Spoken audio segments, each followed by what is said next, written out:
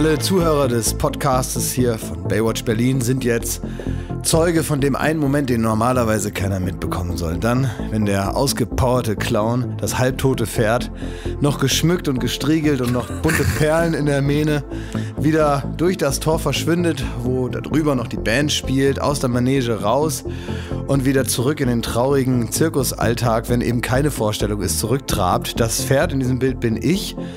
Ähm, die Traurigkeit ist tatsächlich da, die muss ich mir gar nicht metaphorisch erarbeiten, sondern es ist genauso traurig, als wenn ich aus einem Zirkuszelt heraus auf so einen halbgefrorenen Acker zu meinem halb kaputten Wohnwagen wieder zurücktrabe und irgendwo irgendwie äh, altes, matschiges Stroh esse. Denn wir haben gerade eine Show aufgezeichnet.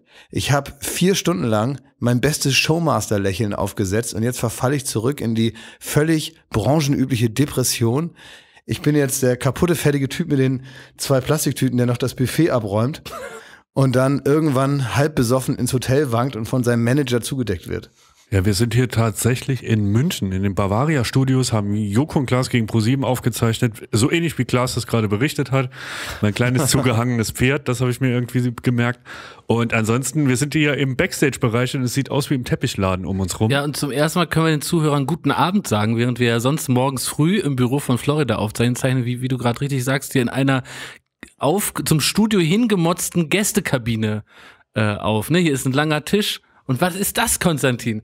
Konstantin Christian sind die Leute, die uns kultig hier in den Podcast reinkriegen, technischer Natur. Und die haben hier so extra alte Teppiche aus Berlin mitgebracht, haben die hier über Garderobenständer gehängt, so dass ja, irgendwie so schallmäßig früher, was haben wir entsteht. Früher alle unsere Alben aufgenommen. Das ja. haben wir alles in die Hansa-Studios gepackt und dann haben wir noch richtig handgemachte Musik gemacht. Ja. Dann haben wir da die Plugs da reingesteckt und dann haben wir noch richtige Stromgitarren haben wir dann da angeschlossen und richtig rumgescheppert. Weißt du, da haben wir alles noch live aufgenommen und nicht mit dem ganzen Klicker-Klacker aus dem Internet. Da haben wir auch unsere alten Teppiche aufgehängt, damit der Sound richtig schmatzig ist. Ja, also wenn ihr den Ton als besonders gut und gelungen empfindet, dann dankt bitte Konstantin und seinen alten Fußmatten hier. Ja. Genau, gerade hast du schon gesagt, welche Show hier gerade aufgezeichnet wird? Nee, das hat aber das der gesagt. Hast du gesagt, ja? Hörst du mir nicht nee, zu? ich hab's nicht genau verstanden, ob du es gesagt Wir sind alle in unserem Aufmerksamkeitsbereich und deswegen plädiere ich dafür normalerweise, heute eine Ausnahme, wir reißen uns zusammen, geht ja. Ja. Aber normalerweise sollten wir das morgens machen, weil man da eben noch nicht so kaputt nein, ist. Nein, nein, nee. Man ist noch nicht so vollgeschossen mit ja, Schrott. Nein, das ist jetzt viel besser. Werden wir sehen, wie ich jetzt aufdrehe. Ich bin auf 100. Das auf 100. Hier, ich bin auf kein, minus zwei. Ja, es ist keine One-Man-Show. Ich habe schon, ich hab schon alles, äh, alles an Glückseligkeit rausgeschossen. Stell dir mal vor, ich bin so ein kleines Glücksbärchen. Ne? Wir können das jetzt machen mit dem Feierabendbier. Gibt's ja, aber pass auf, da erzähle ich auch gleich auch noch was für. Stell dir mal vor, ich bin so ein kleines Glücksbärchen. Und dann habe ich so auch einen Bauch und da steht zum Beispiel drauf, was ich gut kann. Bei mir ist so ein Smiley drauf, weil ich bin ein Fernsehunterhalter, ich bin Entertainer und die Glücksbärchis, die schießen da immer so praktisch Vibe schießen die Vibe, ne, schießen die aus ihrem Bauch mhm. raus und ich habe jetzt vier Stunden durchgeschossen. Ja, da ist nichts übrig mehr, ne? Es ist ein bisschen das, warum ist in der Fernsehbranche das Prinzip Drogen und überhaupt Betäubungsmittel, warum ist das so angesagt? Weil man ähnlich wie in einem äh, Kokainrausch wahrscheinlich oh, seine ganzen Endorphine verschießt, weil man natürlich unnatürlich gut drauf ist. Man fühlt das in dem Moment, das ist nicht gelogen oder so, aber man ist natürlich in einer höheren Schlagzahl, als man an einem normalen Abend jetzt gute Laune verbreiten würde, ist man so drauf und irgendwann sind äh, die Schubladen leer gefressen, wenn ihr versteht, was ich meine. Naja, und du erzählst ja in der Fernsehsendung immer, oder gerade in der Fernsehshow, immer nur das Besondere, ne? Du, du reißt dir das Besondere, reißt das Besondere an das Besondere, das Außergewöhnliche als Außergewöhnliche. Und wenn du da mit deiner guten Laune dann so, so durchbalduverst, da ist nach vier Stunden, ja, verständlich, aber ist nichts mehr da. Also, jetzt, das war jetzt, sagen wir mal, äh, so ein bisschen das Klischee, was man immer sagt. In Wahrheit ist das überhaupt nicht so. Das ist nicht so? Nee, das ist das, was man immer so denkt. Dass tatsächlich diese Leute, die gehen da so hin, die Künstler, und die zerren sich so aus und die sind so aus jeder Pore, kommt dann so diese Leidenschaft Leidenschaft, Künstler zu sein im Fernsehen, die Leute zu unterhalten. Danach ist nichts mehr über von ihnen. Sie sind dann praktisch nur noch eine leere Hülle, die mit nichts mehr gefüllt ist. So. Das ist alles nur so eine Laberei. Das war wirklich, das stimmt das war nicht. ein Klischee, das ich geglaubt habe.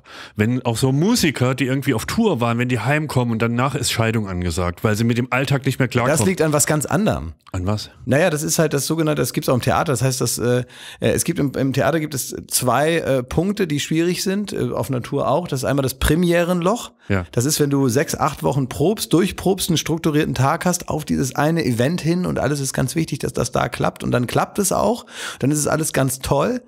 Und dann ist natürlich irgendwann um elf ist die Vorstellung vorbei, dann sagen sich alle noch Tschüss und dann setzt die große Leere ein, weil auf einmal das übergeordnete Ziel, was jeden Tag eigentlich so ein bisschen als Zugkraft gedient hat, ist dann nicht mehr da, weil es sogar wenn es geklappt hat. Ich habe Josef Hader wurde mal gefragt, äh, ob er sich auf seine Filmpremiere freut und hat er gesagt, nein.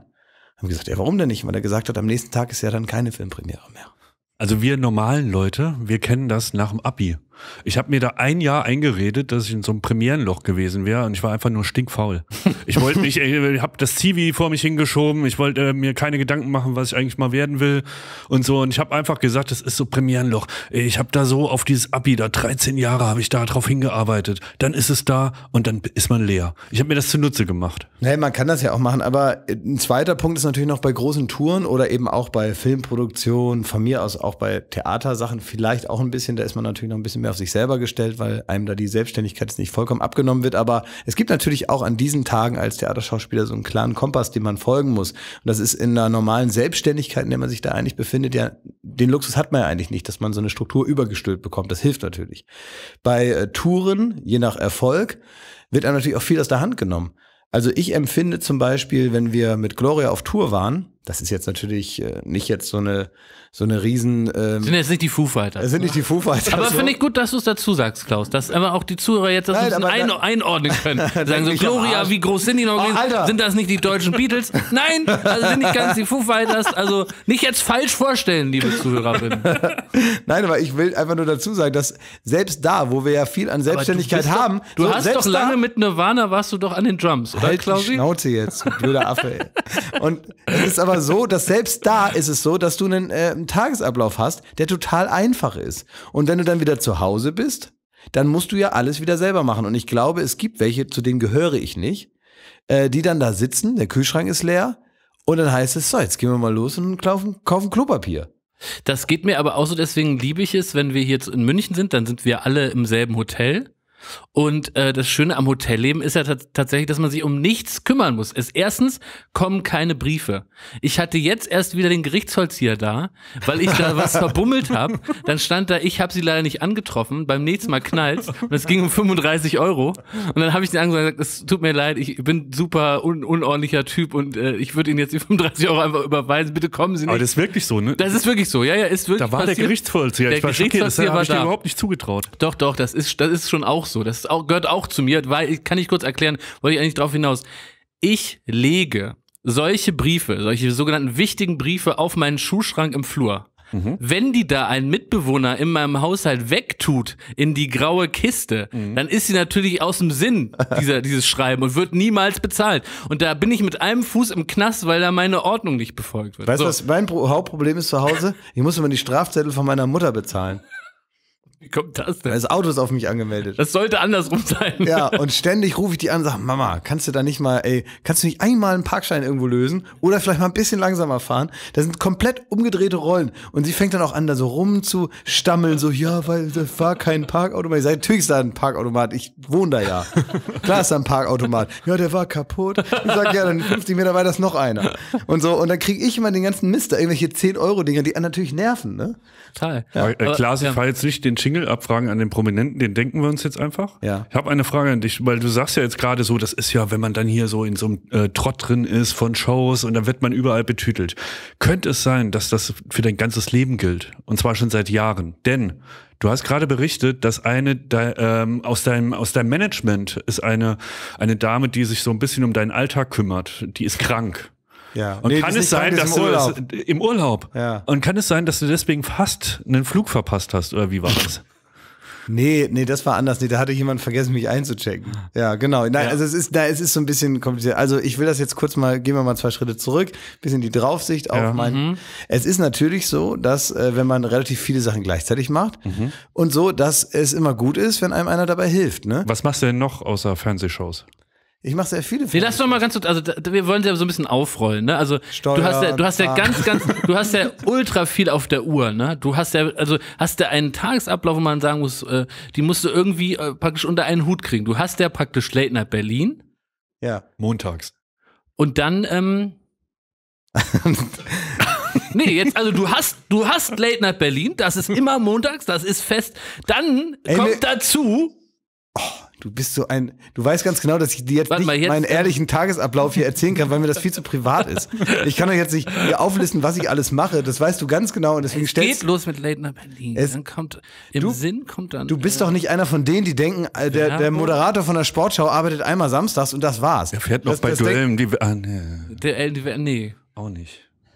Was macht ihr denn so? Warum, warum, warum machst du denn einen Monat deinen Briefkasten nicht auf? Warum kommt bei dir der Gerichtsvollzieher? Ihr habt ja noch gar Das nichts zu tun. Beißreflex, das ist jetzt richtig. Ihr das seid ist so ganz, auffällig. ihr Ja, seid aber ihr seid ganz aber auch. normale Angestellte seid ihr. Ihr habt ein Beamtenleben wie Ja. Stromberg, wie bei der Versicherung. Richtig. Ja. Und Was deswegen, wollt ihr von mir? deswegen kennen wir das auch gar nicht, dass einem so Ich bin eine zwei. Wochen alles abgenommen wird und dann fällt man in ein Loch. Bei uns wird nie irgendetwas abgenommen. Wir müssen jede Kacke selber machen. Wir wissen auch, wie die Wallet-App funktioniert und wie man sich eine, eine, ein Flugticket runterlädt und sich eincheckt. Ja, das Passiert wir einfach von so, Hand. Von Hand! Es ist so geil, wie stolz ihr darauf seid. Klar weiß ich auch, wie so eine App geht, aber ich muss es halt nicht machen. Wie stolz ihr darauf seid, dass ihr euren ganz normalen Kram hinkriegt. Ich würde das auch schaffen, aber warum? Es gibt doch keinen Grund.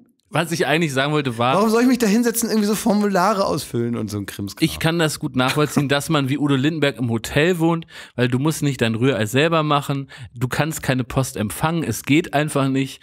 Du, du gehst da rein, pennst, glotzt lange Fernsehen, nächsten Morgen wirst du aufgeweckt, kriegst da dein Rührei und los geht's. Na, wenn du im Hotel wohnst, kommt natürlich die Post irgendwann dahin. Ach echt? Das ist nicht dann so. das Man kann das abhauen, man kann abhauen. Man kann einfach so, ich kenne auch Leute, die wir alle kennen, die sind dann einfach mal mehrere Wochen im Hotel Ja. und dann kommt halt nichts dahin und das ist dann so, die sind dann weg von der Welt, die sind dann wie verschluckt und dann sucht man die und dann findet man die nur anhand, äh, sagen wir mal, der nachgezeichneten Route des Sixt-Autos, was noch irgendwo vollgebildet in der, in der Straße steht und dann merkt man, okay, wenn hier das Sixt-Auto ist, dann wird er wohl in dem Hotel sein. Wisst ihr, dass unser. Kollege, unser geschätzter Kollege Sebastian Krage, der wurde von Beamten angerufen, von der Polizei und wurde gefragt, ob er tot ist. Ja, und hat er Er gesagt, vielleicht ja oder äh, nein? der, vor kurzem verstorben ist. was, warum? Weil er irgendwie, er hat sein Auto geparkt und irgend, äh, ähnlich wie du auch so ein bisschen verbummelt, und dann ist ganz viel Laub draufgefallen und so und es war ein richtiger, irgendwann ein richtiger Schrotthaufen und keiner hat den weggeparkt und, Ne, und, man und, muss, und Basti ist so ein Typ, wenn ein Problem auftaucht, da gibt's zwei Menschentypen. Da gibt's Typ A, der sagt so, Problem analysieren, klären, aus der Welt schaffen. Und dann gibt's Typ B und das ist Typ Basti. Sagt erstmal, ja, jetzt war folgendes passiert, die Batterie war leer von dem Auto. Und er sagte, uh, es ist halt die Batterie. Der sag ich, Basti, ist gar kein Thema. Du rufst an, die bringen dir eine mit, schließen das sogar vor Ort an und dann ist das erledigt. Und dann kannst du wieder fahren mit dem Auto, du kannst du zur Arbeit fahren. Ja, also ich würde mich jetzt erstmal die nächsten Wochen so durchschlagen. Hat der Und nicht das erstmal, das erstmal da so Mutter? parkt. Und das parkt da. Das parkt da. Das? Das parkt da. Das war jetzt kein billiges Auto. Nee, das ist ein gutes Auto. Da das äh, parkte da so lange, bis die Polizei angerufen hat, ob er tot wäre. Das Auto? Ja, Ja. Ja. Das ist ein gutes Auto. aber kann man ja auch verstehen, wenn die Batterie alle ist, ne? Ja, willst du ja machen. Dann fährt das halt nicht mehr. Ne? Aber das kenne ich von anderen Gegenständen. Dass wenn ich jetzt zum Beispiel irgendwie so, ich habe zum Beispiel relativ viel so Handys, ne? Ja. So irgendwelche, die noch über sind, ne? Mhm. Und im Prinzip gehen die, aber ich tue die dann in so eine Schublade zum Beispiel rein, in so eine Kramschublade, wo so alte Schraubenzieher rumliegen, ne? Kennt ihr so Schubladen, wo, Ja, so, wo man nicht ja. mehr weiß, welche Batterien sind jetzt voll und leer? Ja, und man kenn tut die, natürlich, auch. tut die natürlich Ja. nicht ganz normal im Müll, sondern man hat so eine Schublade, da mischen sich die voll mit den leeren Batterien. Dann hin und wieder, wenn man irgendwo ist und sieht so, eine, so einen Block Batterien, kauft man die noch, tut die da auch rein, dann nimmt man da zwei raus, die anderen purzeln dann so raus und dann vermischen die sich. Da ist auch immer Auslandsgeld drin. Stimmt, ja. Da Das sind immer, äh, aus Indien noch die. und dann sind da noch, ist da noch so, sagen wir mal, so eine aufgerissene Packung Power Stripes.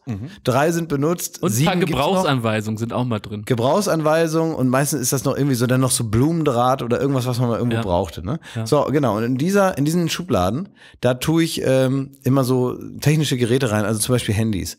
Und nach so einem halben Jahr denke ich, die sind kaputt. Weiß ich nicht. Irgendwie kommt das dann so über mich. dass Warum ich denke, tust du die denn überhaupt da rein? Ja, irgendwo müssen die ja hin, wenn ich die nicht mehr Wie brauche. viele hast du denn? Vier, fünf? Aber es sind ja alte. Alt heißt wahrscheinlich so iPhone 11, ne? Nee, das ist ja das Aktuelle. Heute wirst Ja, du gegrillt, du merkst Pro. das. iPhone 11 Pro ist das aktuelle. Habt ihr irgendwie was, habe ich euch was getan oder so? Nee, gar Nee, nicht. ich weiß auch nicht, warum du so wahrscheinlich ins ein Premierenloch hier bei uns. Ja. Das ist, wieso? Nee, das ist eher fast ein Denier-Loch. Also wir waren ja eigentlich bei diesem Thema, oder? Ja, wollen wir da zurückkehren zu? Ich weiß es nicht, keine Ahnung. Also wenn jetzt nicht zurückkehren heißt, äh, weiter auf mich einzuschlagen. Nee, du hast recht. Nee, du hast recht, es scheint mir nicht fair. Wir sind hier ein Kuschel-Podcast, nicht so ein irgendwie, wir, wir schreien uns jetzt hier Wir nicht. können wechseln zum Thema, wo ich weiß, dass du da was beizutragen hast. Du bist ja eingestiegen mit so einer Zirkusmetapher, ne? Mhm. Und ich wollte gerade kurz erzählen, dass ich als Kind begeisterter Zirkusgänger war. Ja, Also ich, auch. begeistert. Ich habe noch Folgendes gesehen und ich, ich will euch erstmal fragen, ob ihr das mir überhaupt glauben könnt, dass ich das wirklich mit diesen trüben Augen gesehen habe. Und zwar zwei Braunbären mit Schlittschuhen auf einer Eisfläche, die Badminton gespielt hat. Und ich schwöre euch, es ist wahr. Ich bin neulich aufgewacht, mitten in der Nacht und dachte, Fuck, ich war im russischen Staatszirkus, da waren zwei Braunbären, die auf Schlittschuhen Badminton spielen. Stimmt diese Erinnerung oder ist das was völlig Irres, was völlig im Kopf falsch zusammengelötet ist? Dann habe ich in meinen Unterlagen gekramt, hab nochmal das alte Programmheft gefunden, wo auch Bilder davon sind, wie Braunbären da Badminton spielen. Ich, das habe ich gesehen. War begeisterter Zirkusgänger und das ist eine der Erinnerungen. Also ich möchte kurz mal sagen, warum das Prinzip Zirkus nicht mehr ganz so aktuell ist im Jahr Das, 2020. natürlich, das erklärt genau dieses Bild und will kurz sagen, das war ein Zirkus, wo ich als Kind auch gut hingehen konnte, weil es eine Eisfläche gab. In anderen Zirkussen, da ist ja dieses, dieses Sägemehl, ne? Ja. Und da lief das immer so ab, ich bin begeistert hin, hab dann nach zehn Minuten roten Kopf gekriegt und dann Asthma. weil ich sowohl gegen Pferde allergisch bin, hochgradig, Nein. als auch gegen dieses, dieses Sägemehl. Also ich äh, muss ja auch sagen, dass Zu es schwach für Zirkus? ja, ich habe praktisch mit dem Tod gekämpft, während der Clown die zweite Nummer gespielt hat. Also das ist so, dass äh, bei uns war auch mal ein Zirkus, da kann ich mich auch noch gut dran erinnern. Und wir hatten bei uns den Rodelberg um die Ecke. Das war halt wirklich ganz klein und da kam immer die, da, sag mal, Zirkus war weit weg. Ja. Zirkus Roncalli, Zirkus Barum, die kamen alle nicht, sondern es kam äh, Zirkus Scheiße kam zu uns. Der war ungefähr so groß wie ein Iglu-Zelt. Ähm, hatte drei kranke Hühner und, und vier einbeinige ähm, Ziegen. Und daraus wurde dann irgendwas zusammengelötet. Die ganzen achtjährigen Kinder waren die Hauptartisten. Und äh, das Ganze war nicht größer als der, der Zirkus, den ich von Playmobil hatte. Aber der war die Lebensgrundlage für eine so eine so eine, ähm, sagen wir mal, rumreisende Familie. Ja? Und das waren natürlich immer die super Chaos-Typen, aber bei uns war was los. Wenn ich habe im, im Otterweg gewohnt und da war wirklich, da war richtig Chaos im Otterweg. Wenn da, also wenn da die, das waren so ganz fröhliche Super-Assis, die Also es war so richtig der Zirkus in der Stadt, oder wie? ja, genau, nein, nein, nicht in der Stadt, bei uns in der Straße war so ein kleiner Mini-Zirkus. Und die waren, also für mich als Kind war das unglaublich spannend, ja. Äh, ähm, die, man hatte wirklich das Gefühl, da die, nehmt die Wäsche von alleine, der Zirkus kommt, ne? Und äh, holt die Kinder rein, jetzt kommen die Chaos-Typen, ne? Und da gab's auch zwei, mit denen hatte ich mich dann angefreundet, die waren auch immer da, die hießen Carlos und Fernando.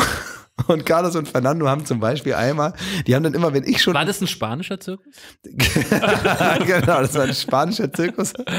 Vorne gab's Tapas und, und drin wurde Flamenco getanzt. Aber das, äh, Carlos und Fernandes zum Beispiel, da war ich mal richtig geschockt, wie, ähm, wie, wie soll man sagen, gesetzlos die waren in meiner Wahrnehmung. Ich habe ja eine sehr behütete Kindheit gehabt, es gab sehr klare Regeln. Ich musste also zum Beispiel um halb acht musste ich ins Bett, ne? Und da war es egal, ob draußen noch die Sonne schien oder was. Da wurden meine weißen Vorhänge zugezogen, die Sonne knallte in mein Zimmer und ich lag im Bett bereit zum Schlafen und mein Zimmer war neben der Haustür.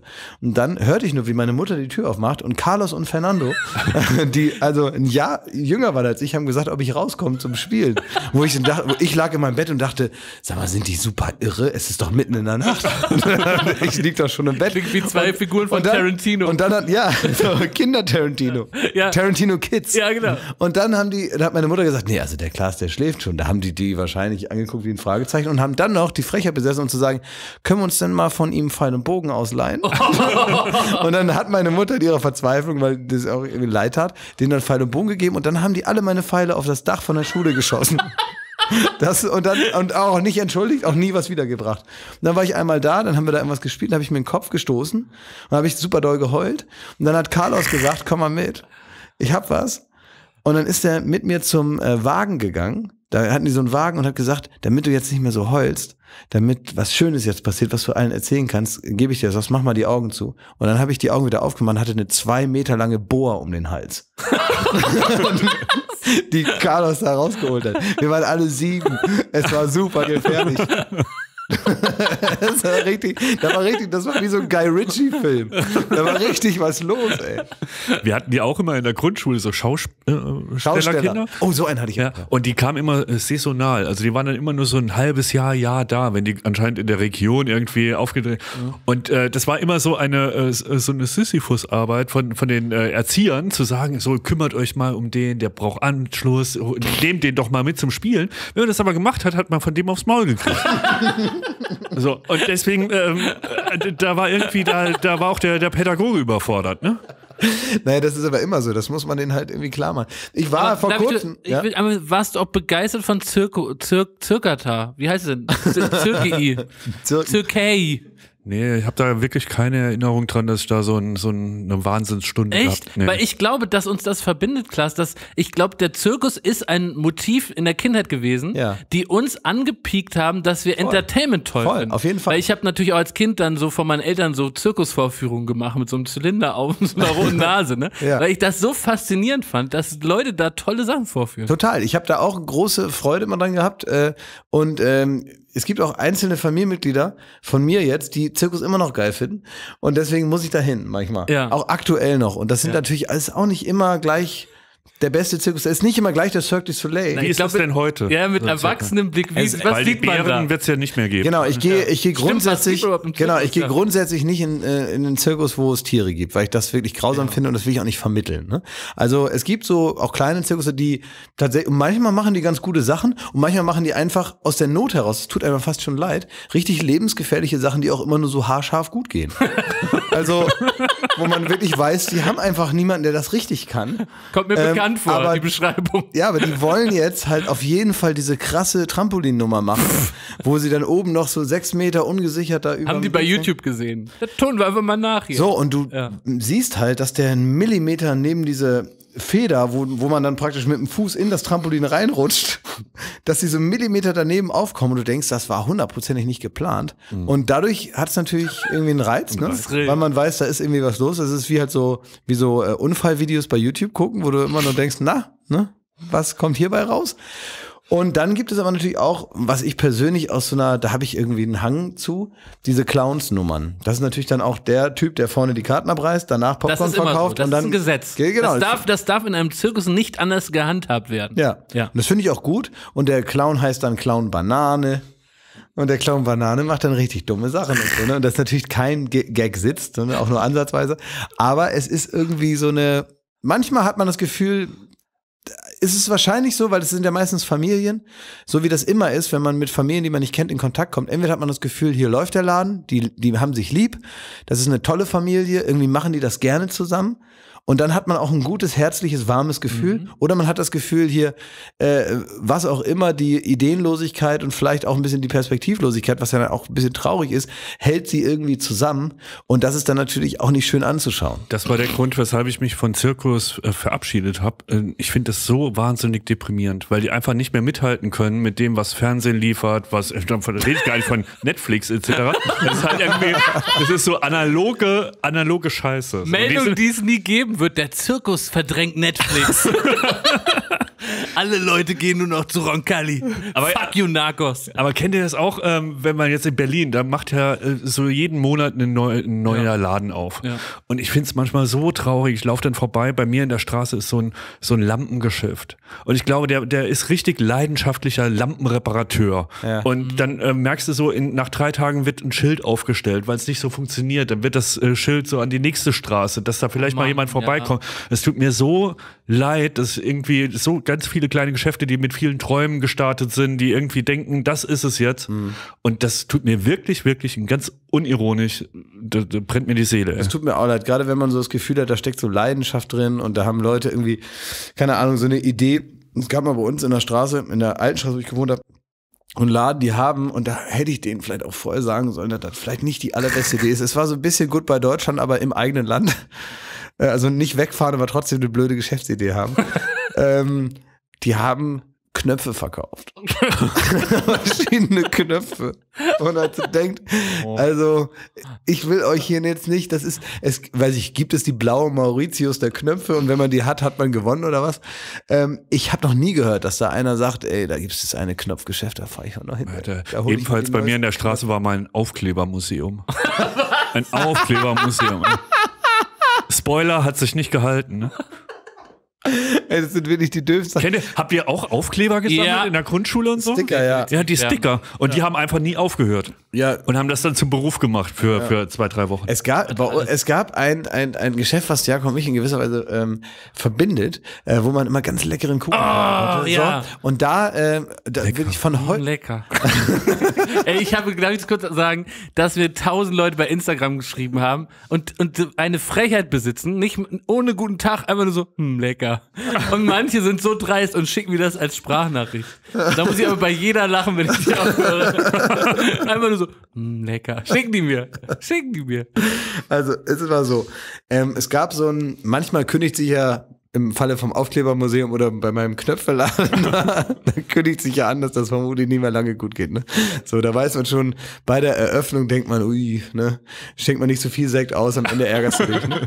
Und äh, und dann gibt's aber so Läden, die so dazugehören, dass man so richtig verwundert ist, wenn die auf einmal nicht mehr da sind. Gehören zum Leben. Die gehören Ja. zum Leben. Und es gab ein so geiles Ich Kuchengeschäft. wollte es gerade lecker sagen. Der war wirklich gut. Ja, es hat wirklich. Darf ich kurz erzählen, was es so gab? Ja. Es interessiert es die Zuhörerinnen und Zuhörer? Wir sagen nicht, wie es hieß, aber erzähl, Ich was es gab. also darf ich so ein bisschen, Ja. also es gab, was ich sehr, sehr gemocht habe, so einen ganz leckeren Käsekuchen. Ja. Mit, äh, der hieß, aber es hat so eine österreichische Bezeichnung, diese so, wie heißt denn dieser, dieser Creme? Topfen. Topfen, das war Topfen, bisschen käsig. Topfengulatschen. Genau. Und dann gab es so, äh, so kleine Törtchen aus so einem Schokoteig mit so Streusel und Pflaumen drin. Und Mohn und so. Und Mohn gab's auch mit, das ist aber mit ähm, äh, Birne gewesen und Ja, Aprikose genau. gab's die. ja.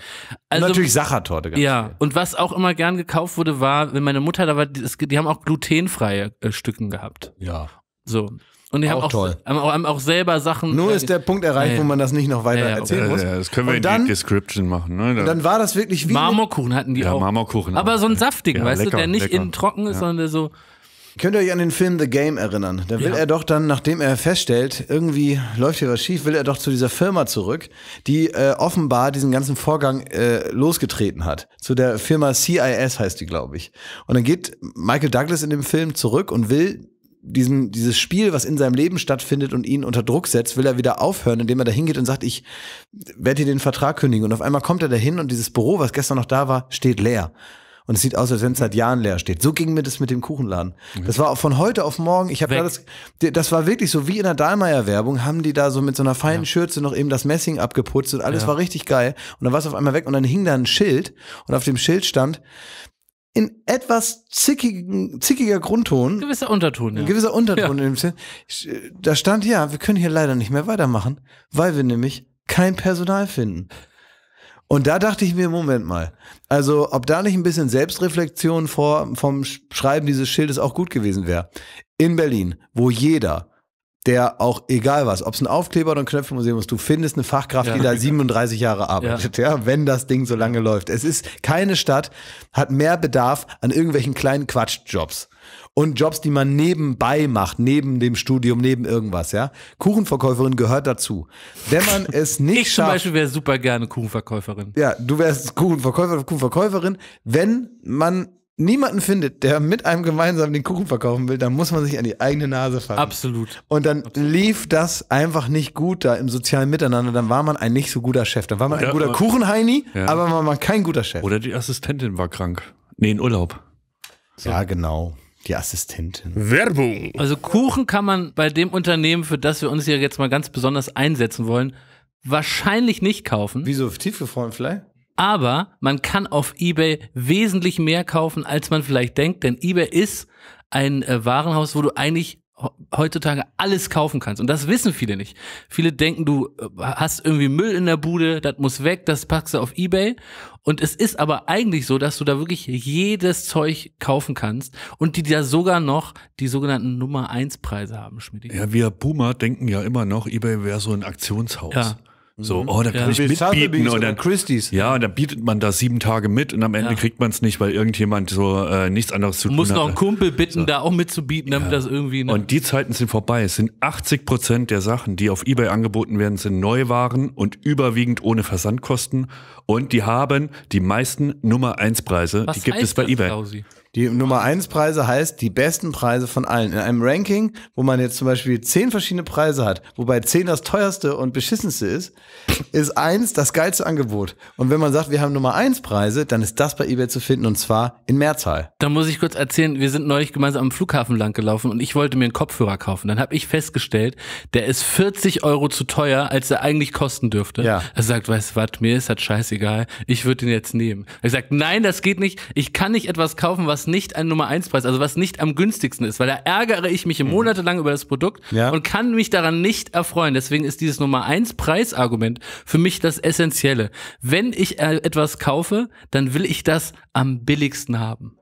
Okay, alles klar. Und das ist bei eBay gewährleistet, glaube Na siehst du ja, dann kann man da doch mal rumsurfen da, ne? Und das Geile ist auch, man ist ja auch Käufer und Verkäufer in einem. Das Ja. Angebot hat man, man kann ja selbst noch Nummer 1 Ja. Preise anbieten. Kann man noch sowas Ja. werden wie eBay Power Seller? Das gibt's bestimmt auch noch. Aber alles weitere gibt's auf ebay.de und ähm, kann man ja mal so ansurfen, ne? Ja, kann man sich mal angucken. Man Ne? kann da mehr machen, als man denkt. Ja. Aber nicht das eine, woran ihr jetzt denkt. Das geht nicht. Werbung Ende. Ja, es gibt ein Geschäft in Berlin, das heißt Trödeldödel. Trödeldödel 1 und es läuft, offenbar so gut, das Trödeldödel 2 gibt es mittlerweile auch. Da bei unserem alten Studio mittlerweile. Es gibt so ein paar Sachen, die sind durchnummeriert. Es gibt zum Beispiel auch, Mhm. gibt es auch mehrere. Wobei ich glaube, 1 und 3 sind wieder zu und ich glaube nur noch 2 gibt es. Ich bin mir nicht Warst sicher. du da nicht mal mit Böhmermann? Ja, mit Böhmermann war ich da mal, ich war da, war da schon mehrmals. Äh, Für alle Nicht-Berliner muss man mitliefern als Information, was ein ist, weil das klingt ja erstmal schön. Ne? Also man sagt sein, das sind wir jetzt ja hier auch in dieser Konstellation, Ja. aber so wie man im sein soll, das sind wir hier nicht. Wir sind nämlich angezogen. Spoiler alert. Das sind aber ganz nette Leute da. Also Das wir, ist ein also, Swingerclub. Ja, sicher. Ja. Aber das ist da natürlich. wird gefickt. Ja, und? Ist ja. doch schöner ich als. wenn- versuch's ja nur zu beschreiben Ja, als ist doch, ist, doch, ist doch schöner, als wenn das jetzt ein Laden ist, wo man sich aufs Maul haut. Also es ist, ist doch irgendwie Grund. Stimmt. Huch. Huch. Ja. Ähm, Ja. ja. also ähm, genau, das ist ein Swinger. Ich war da mal, äh, wir haben mal für die Harald Schmidt Show da gedreht, äh, äh, Böhmermann und ich, und das war eben so ganz witzig, weil man kommt ja normalerweise in so Swingerclubs nicht rein, aber man will natürlich immer wissen, wie sieht's da drin aus. Also Absolut. ich bin immer total neugierig, wie das in so Läden aussieht. Ich würde aber Kannst du uns mal mit reinnehmen? ja, ich kann euch da gerne mal mit reinnehmen. In diesen Swinger oder auch in vergleichbare, weil ich wahrscheinlich glaube, Ja. dass die überall ähnlich sind. Ne? Also was ich grundsätzlich sagen muss. Klaas, sorry, eine Sache noch. Ja, Überleg's dir gut. Du Ja. hast schon mal so losgeledert übers Berghain ja. Und jetzt kommst du nicht mehr rein. Ich will Wenn du jetzt beim genauso loslegst und erklärst uns, wie es da ist, dann kommst du nicht mehr rein. Ja, oh ja. ja da muss Da musst du ins Ficken 3000 gehen. oder ein Stahlrohr. ja. Also man geht rein durch die Tür, was sehe ich jetzt? Naja, also ich möchte kurz vorher eine kleine, kleine ähm, Erstmal duschen oder willst du anfangen? ein kleines Intro.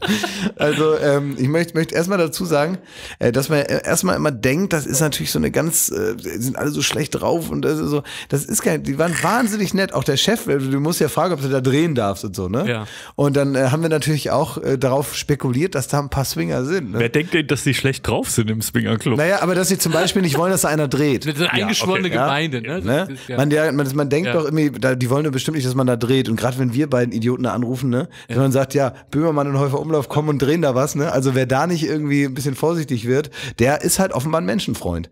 Und äh, die haben gesagt, ja, okay, komm vorbei. Und haben mir gesagt, na, sind denn da auch ein paar, naja, Swinger vor Ort? und dann hat er den schönen Satz gesagt, na, das kann ich euch nicht sagen. Ähm, der Swinger ist ein scheues Reh.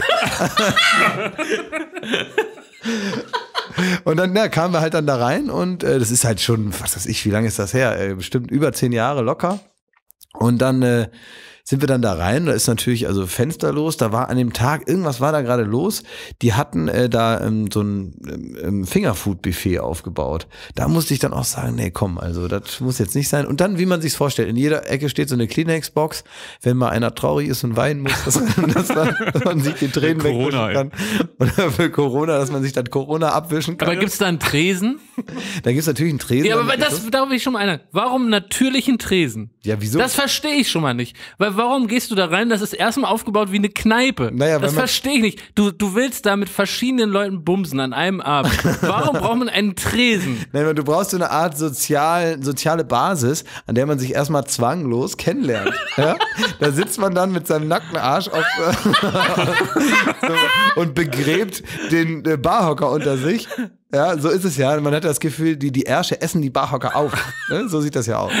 Und äh, dann sitzen die da alle, haben dann alle so venezianische Masken auf, aber an Ice White Shot erinnert da nicht so viel.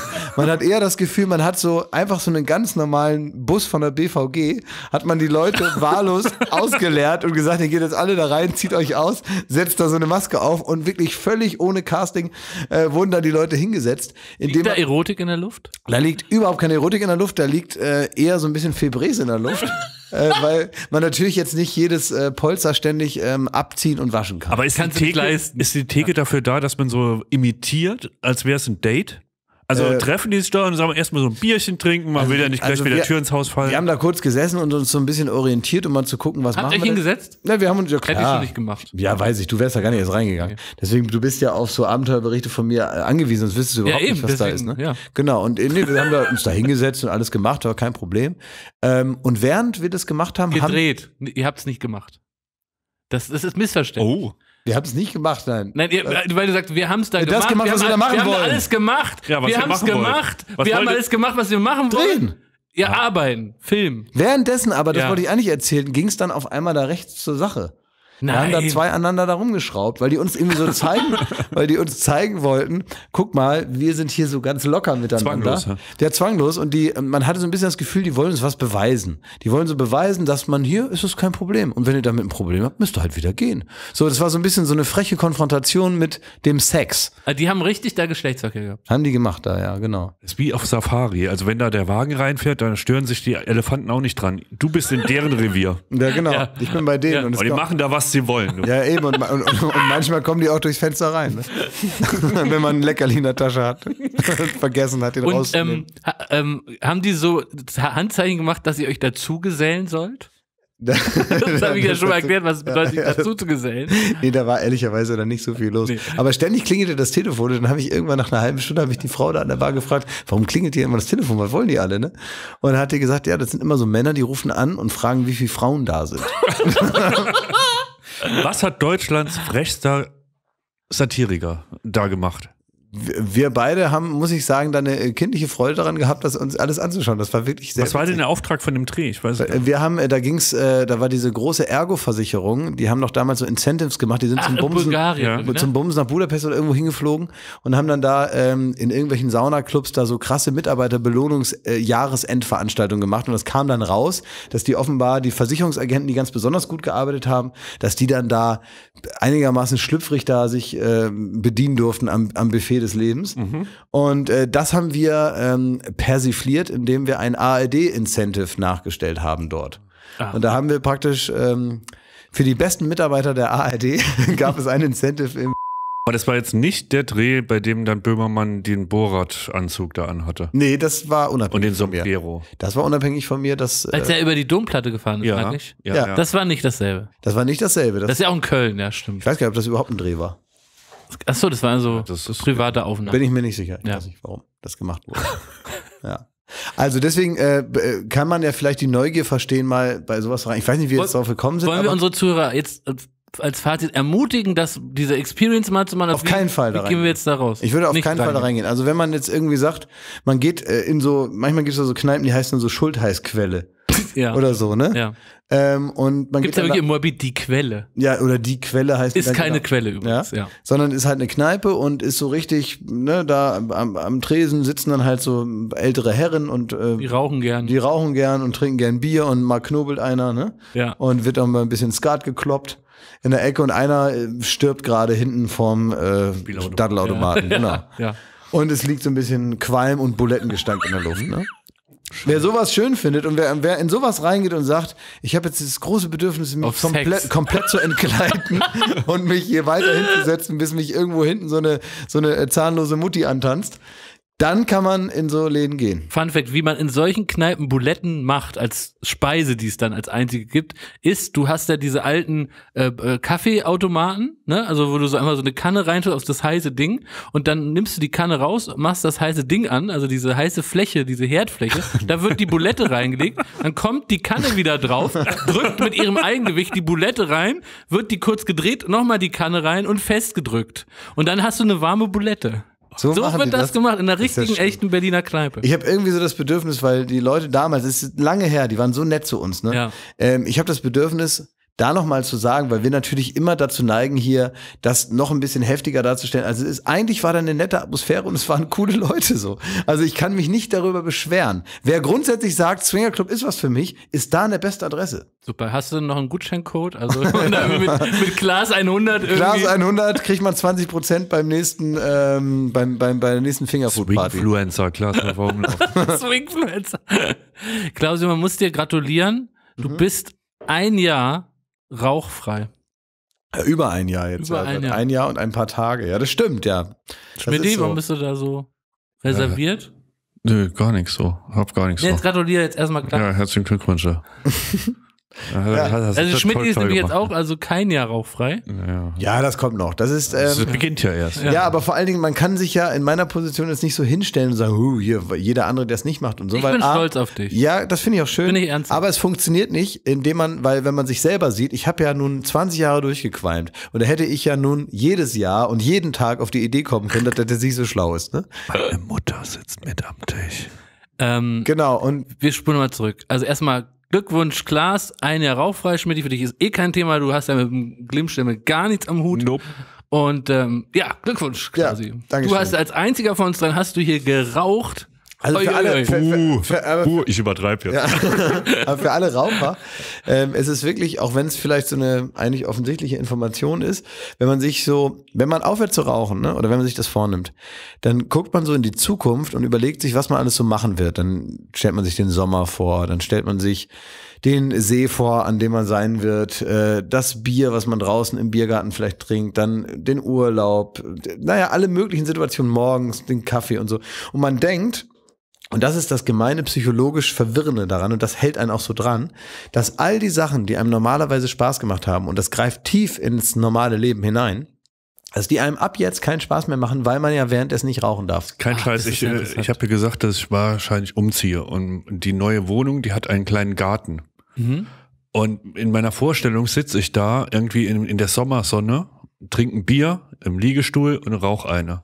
Und die Tatsache, wenn ich mir jetzt überlege, aufzuhören, würde ich mir denken, da brauchst du auch keinen Garten. Ist Weil- ohne Scheiß, weil weil du wirklich denkst, du verbindest das so sehr mit einer Zigarette Genau. da im Son Sonnenuntergang zu sitzen, dass es dir vollkommen wertlos vorkommt, wenn du dabei nicht mit einer Zigarette Ich, ich sitzt. bin richtig, also äh, So tief geht, erstaunt. so tief geht die, die wahrscheinlich dann psychologische Abhängigkeit, das ist immer so eine Komponente, ne, diese psychologische, körperliche ja, und das so weiter. sagt dir dein Gehirn, diese, ne? Dein Gehirn sagt dir, dein Leben ist, äh, du ziehst komplett die Farben raus. Das denkt man. Jede Party ist nichts mehr wert, jeder schöne Abend, jedes Essen, nachdem man dann eine raucht, auch jede soziale Interaktion, das kurze Schwätzchen beim Rauchen, das kurze, komm, wir gehen mal da eben hin und rauchen eine und reden dann dabei. Und Wie haben kann man diesen- Pizza essen und danach keine rauchen? Genau, natürlich Nicht kann man möglich. Pizza essen. Und soll ich dir sagen, es gibt einen Schlüsselgedanken, der dir dieses Problem aufhebt und allen Leuten auch, Oh, das finde ich gut, die ja. äh, Empower aufhören wollen die Leute, Klaas. Aufhören Empower wollen die zu Leute. rauchen. Es gibt einen Schlüsselgedanken, der dir hilft, der dir nämlich eine Idee davon gibt, wie du dich fühlst. Das ist ganz einfach und jeder kommt auch Gibst du eigentlich selber kostenlos, drauf. den Tipp? Ja, den gibt's kostenlos. Ah, super. Ja, das ist nicht in meinem neuen. Das ist nicht in deinem Programm. jetzt lass das ist nicht in meinem Programm. Ja. So, und es ist so, das Gefühl, was du hast, wenn du gerade eine geraucht hast, Mhm. Weißt du, du sitzt auf deiner Terrasse in deinem Kopf, trinkst ein Bier, rauchst eine, machst die Kippe aus. Ja. Und du drückst sie gerade in den Aschenbecher. Ja. Und dann dauert es so ungefähr noch eine Minute. Und ab dem Zeitpunkt, probier dich an diesen Moment zu erinnern, wenn du sie gerade ausgemacht hast. Vielleicht hast du auch zwei gerade geraucht, hintereinander. Und dann machst du die zweite aus. Und dann hält dieses Gefühl 20 Minuten, eine halbe Stunde an. Das Gefühl hat man immer. Und wenn du dir das vorstellst, ist diese Freudlosigkeit, die dir perspektivisch entgegenkommt, denkt man ja, komplett weg. Ah. Dieses Gefühl, was du hast, wenn du sie gerade ausmachst, das hast du immer, weil du mit der Zigarette, die du gerade geraucht hast, auf Null kommst. Einer, der nicht raucht, ist immer auf Null. Aber du fällst wieder in minus 50 nach einer Aber Dreiviertelstunde. da widersprichst du dir, weil äh, also ich glaube auch, dass ich körperlich jetzt nicht so abhängig bin von Zigaretten per se und Nee, dass ist ich da keiner. irgendwie denke, ich muss Ist meinen. Tatter, den tattrigen Arm da wieder in den Griff kriegen, sondern man verbindet es mit Situationen und zwar nicht der Moment nach der Kippe, sondern während ich rauche und dann ist es doch vollkommen egal, also es ist doch für mich überhaupt gar nicht geil. Du würdest, nein, den Moment, nachdem du eine geraucht hast, den genießt du ja noch genauso. Fühlst du dich auf deiner Terrasse wie einer, der schön auf einer Terrasse sitzt, oder? ja. Wenn du gerade geraucht hast, nimmst du alles, was um dich herum passiert, nämlich zum Beispiel die Pizza, die da steht, oder der Sonnenuntergang oder der Garten an sich, der Geruch, der Sommer, was weiß ich, den nimmst du ja wahr als das, was es ist, weil du dieses eine Problem mit der Kippe ja gerade gelöst hast. Also kommt dir das alles entgegen. Und wenn du das schon die ganze Zeit hast, ist das ja super gut. Ich war in Namibia und da bin ich auf die höchste Sanddüne der Welt gelatscht. Und das ist wirklich anstrengender, als man das so denkt. Da läuft man eine gute Stunde, anderthalb Stunden. Ich wäre da nicht hochgelatscht, wenn ich mir nicht vorgenommen hätte, da oben zu sitzen, meine Kippe auszupacken und auf der höchsten Sanddüne der Welt eine zu paffen. Und erst dann geht's. Was macht man dann? Latscht man da hoch, sagt man, Mensch, das ist aber hoch und dann wieder runtergehen. Pass Wie mal das? auf, ich gehe jetzt mal in Louvre und dann stelle ich mich vor der Mona Lisa und dann paff ich der ins Maul. Das ist schön und deswegen fahre ich jetzt nach Paris. Pass mal auf, ich fahre jetzt aufs World Trade Center, fahre ich noch hundertste Stock und dann zünde ich mir da die Fluppe an. Pass mal auf, ich fahre nach Gizeh zu den Pyramiden und dann rauche ich da zehn Fluppen davor. Das kann doch nicht, also das, macht gar keinen Sinn. Ich finde aber wirklich. Das macht nur als Nichtraucher keinen Sinn. Nee, aber- das weiß, was ich meine. Ich weiß schon, was du meinst, aber das Ding ist zum Beispiel jetzt, mittlerweile mit einigem Abstand kann ich das ganz gut beantworten. Wenn man, du bist ein Typ, ich kenne, also die Menschheit teilt sich in, in zwei Gruppen, nämlich einmal die, die das geil finden, auf so eine Sanddüne raufzuklettern und dann gibt es Leute wie Jakob, die sich sagen, bin ich denn bescheuert, da ganz hoch zu klettern. Ja? Gibt's da Cappuccino? Nein, danke. Du würdest auch ohne, also du bist einfach kein Typ dafür. Das heißt, im Grunde deines Herzens, Herzens bist du einer, der da einmal hoch will, weil du diese Erfahrung offenbar in deine, auf deine Bucketlist setzen musst, ja? Genau. Wenn du jetzt aber nicht rauchst, wärst du immer noch so einer, der da hoch will. Und dann stehst du da oben, guckst dir alles an und denkst, krass, jetzt bin ich hier oben. Und das reicht dir dann. Ich war ja in äh, Südafrika und äh, ich war in Kapstadt und dann hieß mal, man muss auf den Tafelberg und so, ne? Da dachte ich, oh nee, ey, da ist es windig, es dauert lange. Da habe ich gehört, die letzte Stunde muss man selber latschen. Da habe ich gesagt, kein Bock, kann ich mir vorstellen. Blick von oben. da habe ich einfach gestrichen, ne? Und stattdessen lieber schön Flat White mit Hafermilch. Ne? einfach gestrichen. Kann ich mir vorstellen. Aber Glas, wir hatten doch auch wirklich so die, die besten Momente, auch bei Duell, ob es am, am Vulkan war oder bei den Eingeborenen. Moment, habt ihr am Vulkan ja so geraucht? Ja, Am größten Aschenbecher der Welt. Ja. Habt ihr eine da waren wir nicht allein. Mutter Erde hat mitgequalmt. Ja, das stimmt schon, aber ähm, auch das, ich mu muss es ja nur mal so sagen, auch wenn ich jetzt so wirke wie so ein, wie so ein Missionar, so einer, der im Knast zu Gott gefunden hat und jetzt allen davon berichtet. ja. ähm, George Foreman sitzt ja, vor mir. total bescheuert, ne?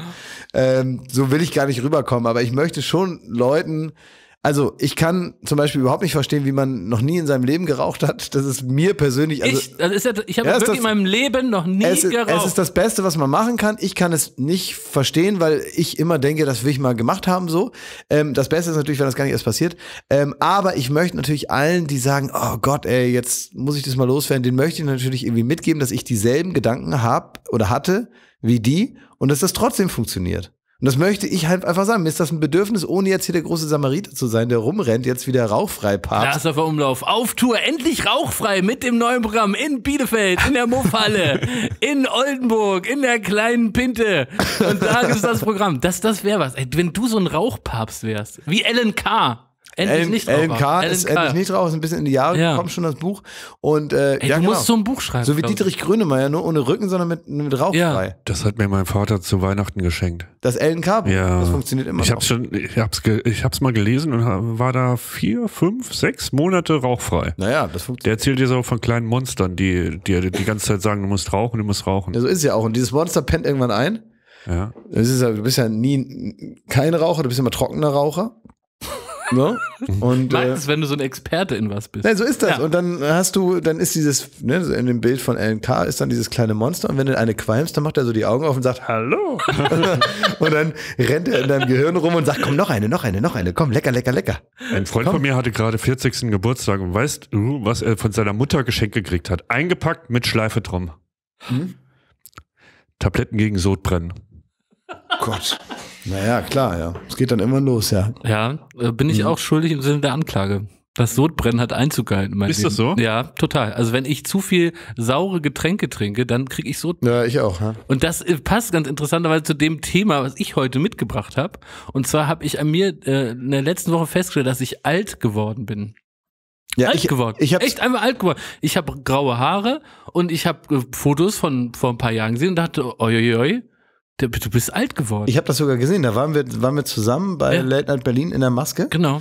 und da stehen wir dann manchmal und quatschen. Ja. Und vor der letzten Sendung hat Jakob dann gesagt, guck mal hier, was ist denn da los? Ja. Und hat dann so eine kleines, also der, der Sky Dumont befällt dich Ja. langsam, wie ein Schimmel. So eine graue, kannst du das sehen hier, Schmidti? Ja, Siehst du das? Ja. Ja. Hier Ja. und im Bad. Naja, überall, ja klar. Überall. Aber vielleicht werden wir alle nicht alt, ne? Haben wir schon über Corona gesprochen diese Woche? Oh, das, äh, Ist das gut, dass wir es ausgespart haben oder ist das ja, ich frage mich, wollen die. Hörer, wollen die Hörer un, unsere, unser Wissen über, über diese Pandemie, äh, Nee, äh, ich glaube, wissen nicht, aber ich kann dir sagen, es hat einiges geändert in der letzten Woche. Naja, Könnt klar. ihr noch lachen über Corona?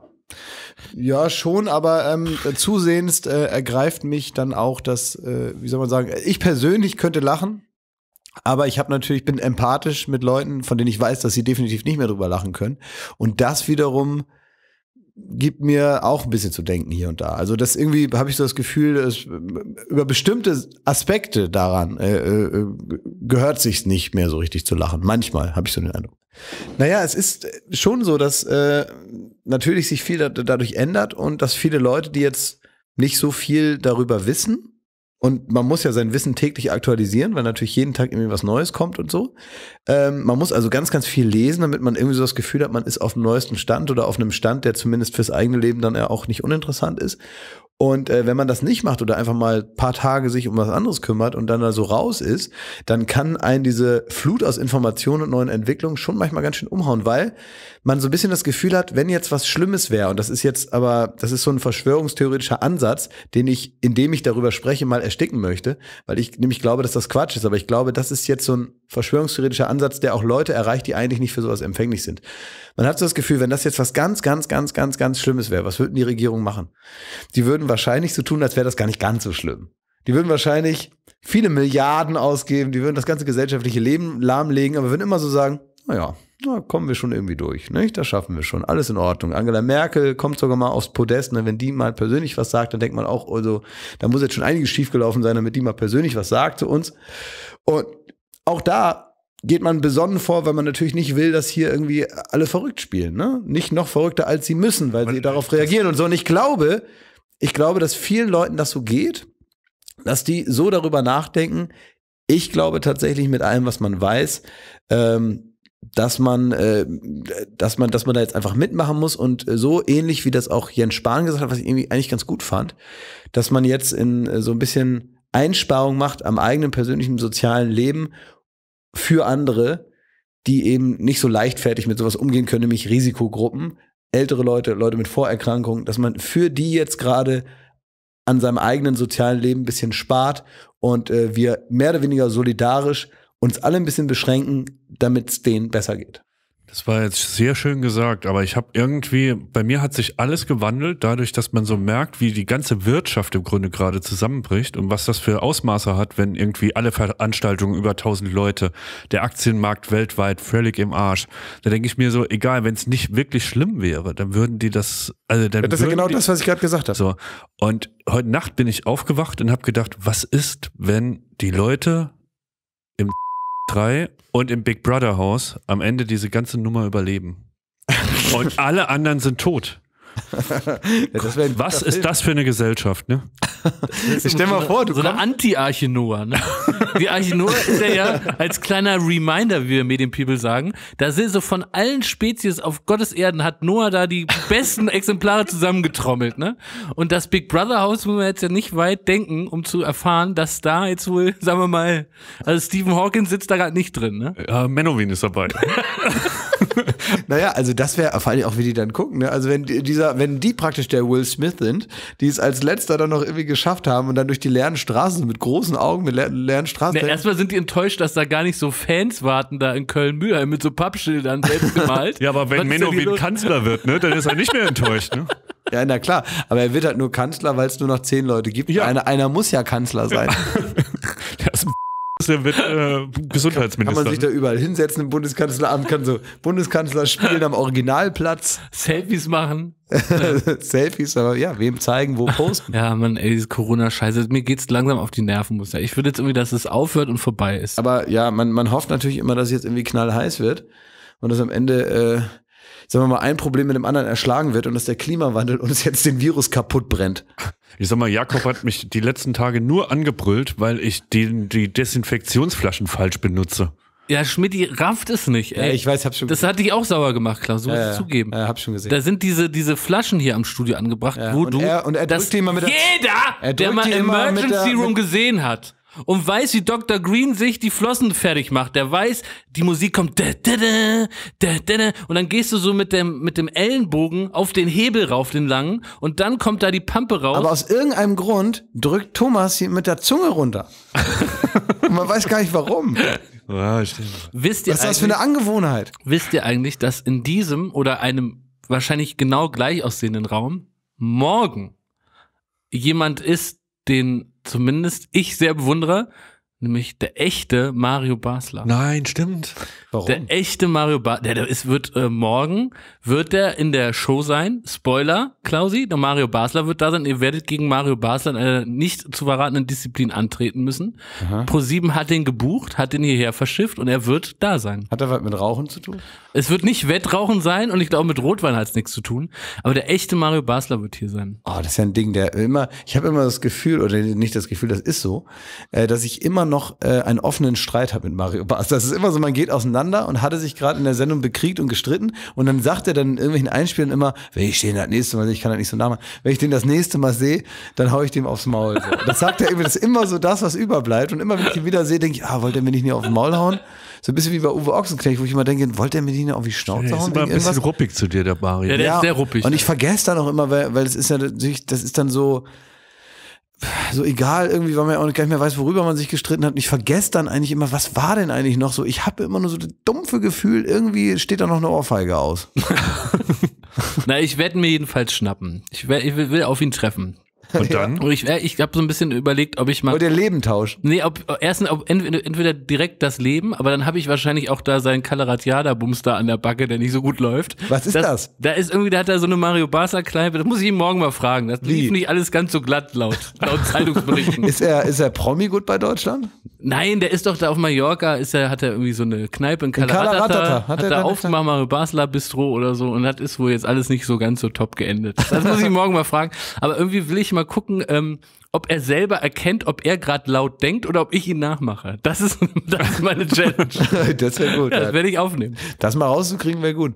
Sag mal, du Und ich finde aber auch Schmidti muss auf ihn treffen, weil Mario Basler ist doch, äh, das weißt du natürlich gar nicht. Mario Basler hat ja lange für den ersten FC Kaiserslautern gespielt. Ja, Ja, den habe ich jahrelang zugejubelt. ja Schmidti ist äh, richtig Fan gewesen. von Ich war dabei, als er ähm, sich bei einer Ecke diesen bayerischen Hut Das aufgesetzt musst hat. du gesehen haben, Klaas. Und dann hat er so von einem Fan Mit einem Weizenbier hat er Genau. die Ecke geschossen. Ja. Da war ich dabei. echt? Ja. Und das war, äh, das ist irgendwie was Besonderes oder was? Ach, komm.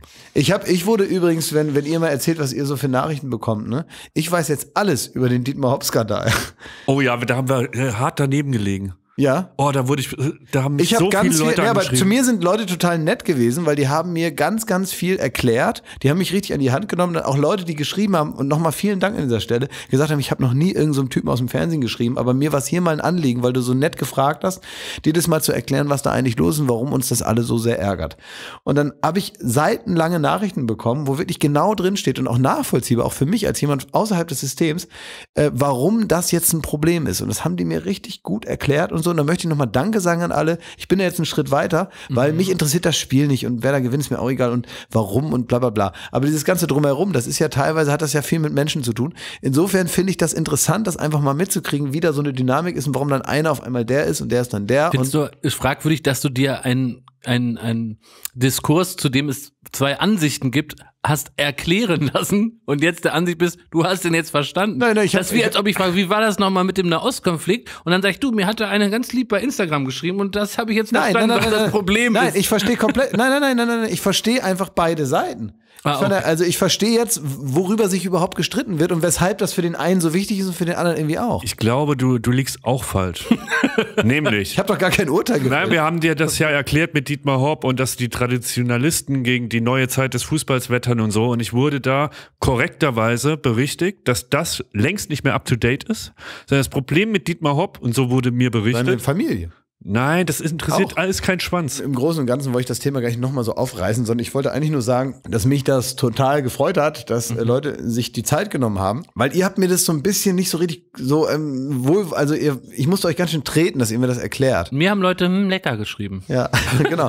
Und um mich wurde sich gekümmert. Und wenn ihr nochmal merkt, ähm, dass ich zum Beispiel was falsch sage oder von irgendwas keine Ahnung habe, dann könnt ihr mir das immer gerne richtig schreiben, aber macht das bitte mit einem pädagogischen Grundton. Also sagt jetzt nicht, du Vollidiot, hast alles falsch gesagt, peinlich, peinlich, weil darauf reagiere ich so nicht so gut, weil ich Wir bin, wissen, du musst gelobt Lob. Na, Ihr müsst sagen, das Ja. war schon super toll, aber hier gibt's noch eine kleine Ergänzung obendrauf. Optimierung. Und so Optimierung, so könnt ihr mir praktisch neues Wissen antragen da draußen. Und da freue ich mich dann auch darüber und ich merke mir das auch alles. Ähm, nur äh, kritisiert mich nicht zu hart, weil darauf reagiere ich verschnupft und äh, das Gegenteil passiert, dann blocke ich ab. In der letzten Folge Late Night Berlin von diese Woche Montag, also am Montag, Ja. ähm, da wurden ausgestrahlt die äh, Kinderlieder von Rolf Zukowski, die geupdatet waren in die neue Zeit. Mhm. Und da hast du eine Geschichte angepriesen, angekündigt, Mhm. die du hier zu Ende erzählen musst. Weil wir den Le- Leuten gesagt haben, in dieser Podcast-Folge, da wird das restlos aufgeklärt. Ja. Es hat was mit einem Wohnwagen zu tun und mit Urin. Nee, nicht mit Urin, sondern mit einem Unfall. hast du da reingepisst oder du, wie kommst du darauf? ich es mir irgendwie falsch gemerkt, oder? ja, Okay. Diesen Fakt Urin hast du komplett hineingefreestylt. Alter. Alles mit Urin ist erstmal witzig, aber es hat was mit dem Wohnwagen zu tun und einem Unfall, ne? Naja, also ich war, ich bin äh, gut befreundet mit, äh, mit dem, mit, mit äh, einem Sohn äh, vom besagten Rolf Zukowski. Ist einer meiner sehr guten Freunde. Und da haben wir vor vielen, vielen Jahren haben wir uns dann noch das väterliche Wohnmobil ausgeliehen und sind damit nach Amsterdam gedüst. Mit Erlaubnis? Ja, ja, das schon Dem mit Erlaubnis. Wohnmobil von Rolf Zukowski. Genau, sind wir nach Amsterdam Klingt gefahren. auch wie ein Song von Ja. ihm. Das Wohnmobil von Rolf Zukowski.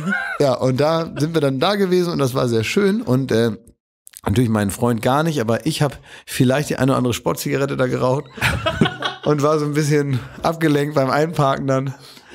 Und äh, ja, ist ja auch schon lange her. Ne? Naja, und da bin ich auf jeden Fall so ein Besitzer von so einem Lampengeschäft, bin ich irgendwie in sein Auto reingedonnert und zwar richtig ordentlich so. Und dann, weißt du, wenn man schon, wenn man so unkonzentriert ist, dass man, man hört so ganz lange so ein Ratschgeräusch. Oh Gott, so richtig so zwölf Sekunden, bis man immer merkt, oh, das, das verursache wohl ich. Und so hat sich das also so an der einen Seite einmal komplett durchgezogen. Haben wir dann alles geklärt, war alles in Ordnung. Ah, Alles wie, wie reagiert denn Rolf Zukowski darauf, wenn man sein Auto äh, mit. sehr nett.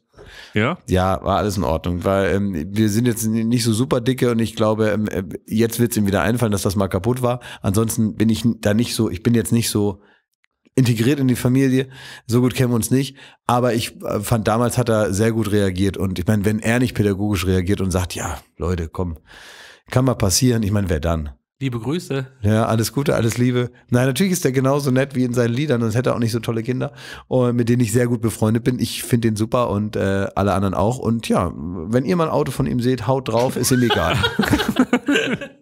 Sag mal, Klausi, neulich äh, laufen wir so da diesen äh, fiesen Flur da im Adlershof lang, ne, beim LMB-Stuhl, da sagst du, ey, du schreib mal auf hier in diese Notiz, äh, André Toppitz oder sowas. Und dann sag ich so, hä, was für ein André Toppitz, kenne ich doch gar nicht. Ja, komm, ich habe jetzt gerade mein Handy nicht dabei, das will ich so gern mal im Podcast erzählen. Schreib mal André Ja, das, Toppitz nein, auf. nein, nein, das hatte, naja, Moment, Moment. Was das, hat das denn jetzt mit Rolf Zukowski zu tun? Äh, sind die verwandt? Ah nee, ich habe das ja aufgebracht. Den weiß ich auch nicht. Ich dachte, ich bring doch mal was rein. Du hast der Chef sagt, hier schreibe André Toppitz auf. Sag ich hier, was ist denn hier mit einem André Toppitz? Ja, naja, also ich, also das, ich weiß jetzt auch nicht mehr zu welchem äh, Punkt. Ich glaube, glaub, es gab mal irgendeine Geschichte, wo das gepasst hätte, dass ich das noch erzähle. Ich weiß Und aber, jetzt nicht, oder wie? Nee, also das, also ich weiß jetzt, welche Geschichte du meinst, aber ich äh, müsste jetzt wirklich also hart einen Bogen konstruieren, um die noch, also ich müsste die einfach, die hat jetzt überhaupt nichts mit dem zu tun, was wir so bislang besprochen haben Schade. heute hier. Also- ich könnte sie trotzdem erzählen. Sie ist halt nur so ein kleiner Marker in meiner Kindheit, so eine Sache, die mich hat aufschrecken lassen, weil ich sowas bis dato noch nicht erlebt hatte. Und ich glaube, es ging irgendwie um das Verhältnis von so Eltern von Freunden oder so. Irgendwie, so, über sowas haben wir ja mal geredet, ne? Kann das sein? Auf jeden Fall. Ich überlege gerade, wie das. Ja, Es gab auf jeden Fall diese Story, dass ich bei, bei diesem Typen zu Hause war, äh, mit, mit so acht, neun, also relativ klein noch und äh, bei dem geschlafen habe. Und da saßen wir äh, abends mit der ganzen Familie beim Essen. Und da hat der Vater von dem, hat einen denkwürdigen Satz gesagt, der mir manchmal wie eine Art Ohrwurm immer noch wieder in den Kopf kommt. So in so Situationen, wo ich denke, was hat dieser Satz denn jetzt in meinem Kopf verloren? Der bringt mich doch jetzt überhaupt nicht weiter. Warum denke ich diesen Satz? Weil der sich so verfangen hat, weil ich offenbar mich so erschrocken hat, als er den damals gesagt hat. Stell dir mal vor, du sitzt in so einem als Junge bei Eltern, die du nicht so gut kennst und die essen alle und es ist so ein bisschen schweigende Stimmung da. Und dann sagt der Vater auf einmal den Satz völlig aus dem Nichts, während die Mutter da auch sitzt und die Kinder. Die Nase muss mit einem hörbaren Klick in das Arschloch einrasten. Was? Also ich finde, diese Geschichte passt schon in eine Folge, in der es lange ums 3 ging. Aber warum? Ich weiß es nicht. Ich weiß nicht, warum der das gesagt hat. Ich erinnere, da war nur noch so, so ein Geräusch hat man dann gehört. Ich nehme jetzt hier einen, ähm, einen Flaschenöffner, aber es war natürlich eine Gabel, so. Weil die Mutter das auch nicht fassen konnte, dass der das gesagt hat. Und dann hat er uns Kinder so angeguckt, als hätte er gerade einen versauten Witz erzählt. Aber wir waren völlig geschockt und ich habe den so mit großen Augen angeguckt und dachte, wa was? Und manchmal in so Situationen spült, spült dieser Satz, der wahrscheinlich damals in meinem, in meinem Kopf, in meinem Kinderkopf, war dieser Satz drin und der konnte in keine Schublade, weil ich dafür noch keinen Schrank hatte in meinem kleinen Kindergehirn. Also wo sollte ich den einsortieren? Das heißt, der blieb unsortiert, irgendwie einfach so, so rum, ist er so rumgeflogen in meinem Gehirn und der ist bis heute nirgendwo weggespeichert, sondern der fliegt da immer noch wie so eine loose Cannon in meinem Gehirn rum und manchmal schwappt er nach vorne. Und dann stehe ich irgendwo. Meinst du, der taugt für ein T-Shirt? Es, nee. ich, weiß, ich weiß nicht, was ich mit dem Satz machen soll. Deswegen sage ich den jetzt mal. Wenn ich den jetzt einmal hier gesagt Ja. habe, vielleicht ist er dann weg oder so. Aber der ist so richtig wie so eine alte Seele, die noch durch so ein Haus Ich glaube, ich habe den jetzt auch. und, und was Unerledigtes noch hat. Äh, Und, und, und, und dieser Kam Satz, völlig aus dem Nichts. die Nase muss mit einem hörbaren Klick in das Arschloch einrasten. Und warum auch immer hat er das gesagt. und ja, ja, das, ja, ich weiß das hat den geritten. Das hat den geritten. So, woher kam das? Und die Mutter hat ihn angeguckt nach dem Motto, das hast du nicht gesagt. Und André war das auch ganz peinlich und ich habe gar nichts mehr gesagt. Und dann, das ist auch so eine Geschichte, die macht man dann nicht mal, wenn der dann sagt, und wie war's bei André? Wenn meine Mutter, meine Mutter gefragt hat, dann äh, hätte ich natürlich nicht gesagt, ja, nee, war ganz gut. Also wir haben irgendwie abends Kassette gehört und damit das haben wir draußen im Garten gespielt und abends hat der Vater dann gesagt, dass die Nase mit dem Hörbeinklick ins Arschloch einrasten muss. Das erzählt man ja nicht. Hast du einfach nur gesagt, gut. Und da hast du dich ja. wann erinnert, äh, als du mit Jakob durch Adlershof gelaufen bist? Wie gesagt, Ja, ich glaube, Satz- es, muss, es ging um Dad-Jokes. Es ging, es ging um ging um Dad-Jokes. Dad-Jokes, so, irgendwie so. Sprüche, die so Väter, so immer wieder mal so. Er hat auch so, einen- so einen Kumpel, der war hinter, der hat dann so gesagt, zum Beispiel, äh, so, so harmloses Zeug, der hat dann gesagt, äh, äh, thank you very much, English lernen ist Quatsch, ne? Und hat uns dann so angeguckt und wir haben schon als Sechsjährige gedacht, ja, funny, ey. Also weißt du, so richtige Dad-Jokes, ne, die einfach nicht lustig sind. Und irgendwie kam ich da. Und wie gesagt, dieser Satz, der wird mir wie so Strandgut, wird mir immer, immer wieder so an, an den Strand des Lebens gespült. Und dann denke ich diesen Satz und denke, oh, dieser Satz schon wieder. Warum ist der schon wieder da? Ey, und dann ist mir noch was anderes eingefallen. Ähm, jetzt gerade, wo ich an den Flur denke und an, an unsere Aufzeichnung denke. Ich habe letztens ein- einen Witz gemacht im Stand-up. Da ging es irgendwie darum, äh, äh, Desinfektionsmittel ist so teuer und so und selbst so eine kleine Flasche kostet ganz viel, aber dabei muss man ja drei Liter davon trinken, soll man, sagen einem die Leute. Und so, und das war so ein Witz, alle haben gelacht, bla bla bla, ne? Und da fiel mir auf, dieser Witz ist gar nicht so weit hergeholt, denn du und ich, Schmidt, Ja. wir haben schon mal Desinfektionsmittel getrunken. Ihr habt was? Und relativ viel sogar. Oh fuck, ja. Du erinnerst dich, ne? Weißt du, was ich meine? Bolivien, ne? In Bolivien.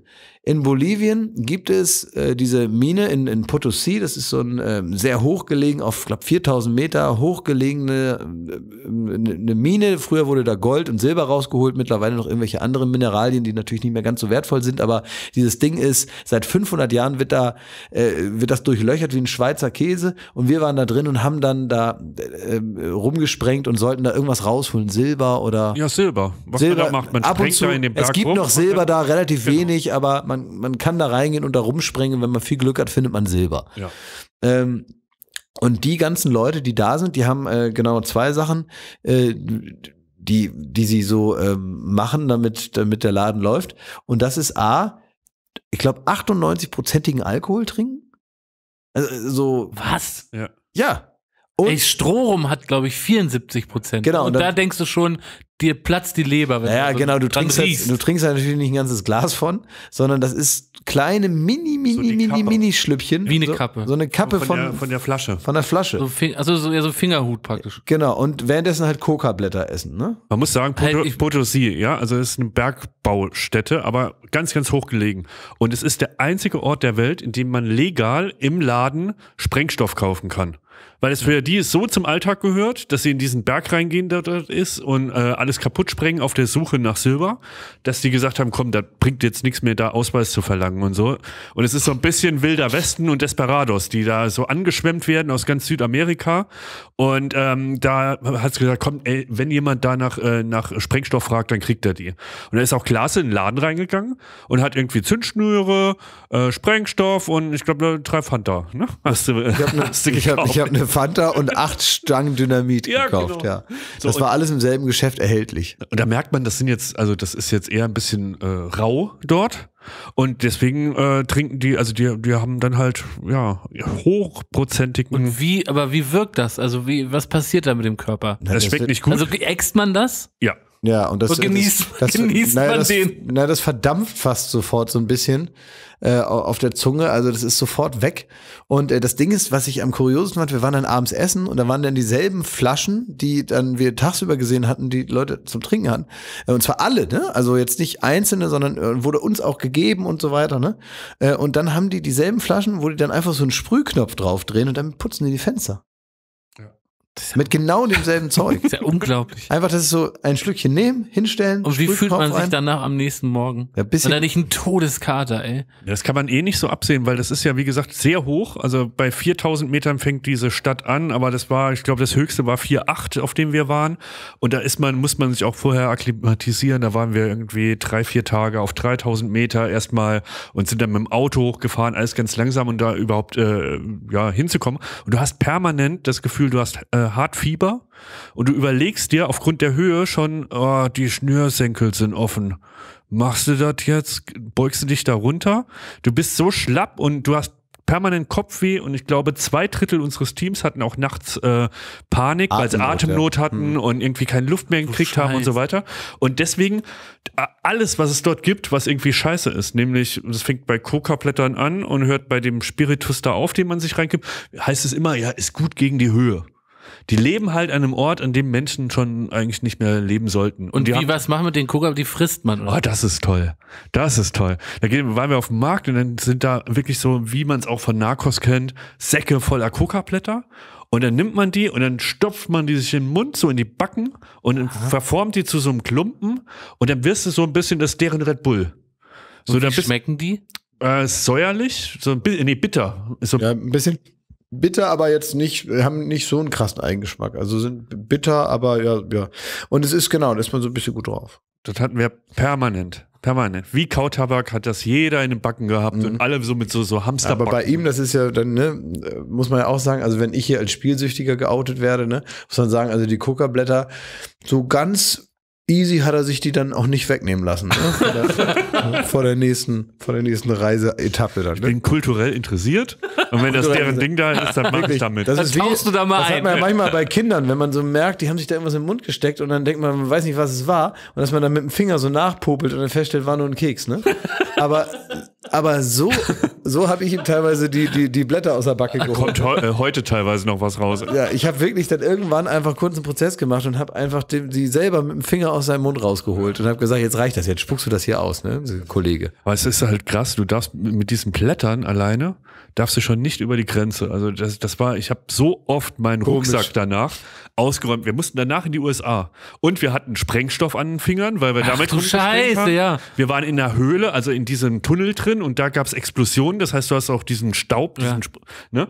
Und ähm, die Kameras alles voll mit irgendwelchen äh, Schwarzpulverresten und so war zumindest zu befürchten. Und dann ging die nächste Etappe in die USA. Und er hatte hier so eine Anglerweste voller Coca-Blätter, ne? ja. In jeder Tasche war noch eins zu finden, ne? Ja, und ich habe so oft meinen Rucksack durchsucht und ich hatte niemals so viel Angst, in ein Land einzureisen wie nach Bolivien, wo du wirklich Dreck am, am, am Stecken hast. Ne? Also, und da haben wir da rumgesprengt, die TNTs rumgeschmissen, die, die Ja, und in, in den USA, da äh, willst du auch nicht, ich glaube, also da ist es nochmal anders. In Indien wissen sie dann auch irgendwann nicht mehr, was sie noch mit dir machen sollen und dann lassen sie dich halt wieder frei.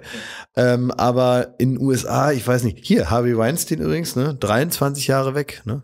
23 Jahre und äh, auch in so einem Ding, was du ja auch nochmal gesagt hast, was noch klingt wie in so einem Film, ne? Wie heißt das Gefängnis noch?